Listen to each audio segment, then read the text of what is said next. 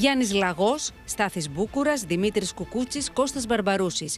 Οι τέσσερις πρώην βουλευτές της Χρυσής Αυγής που βρέθηκαν στο στόχαστρο του πρώην αρχηγού τους κατά την απολογία του.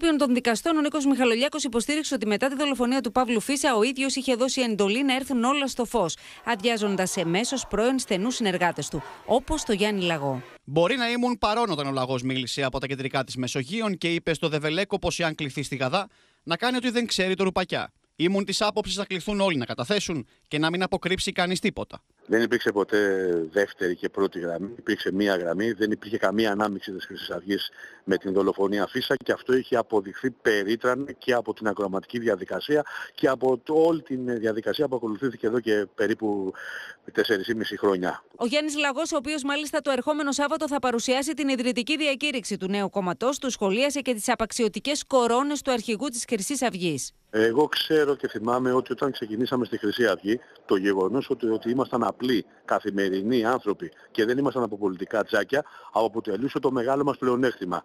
Βλέπω τελικά ότι στην πορεία, και επειδή κάποιοι φοβήθηκαν, αυτό έγινε θέμα προσυρωνία από τον ίδιο τον αρχηγό μας.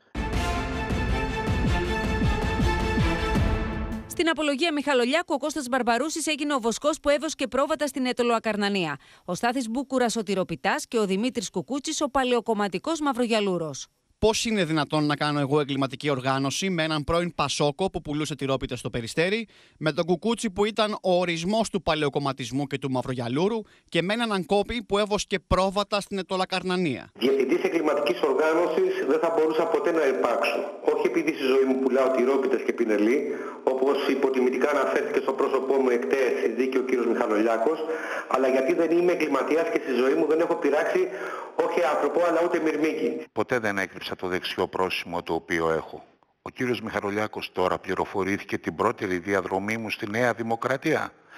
Οι 10.000 μεσίνοι που το 2012 μας τίμησαν με την ψήφο τους προήλθαν από πολιτική παρθενογένεση; Η δίκη της Χρυσής Αυγής θα συνεχιστεί στις 18 Δεκεμβρίου με την αγόρευση της εισαγγελέως.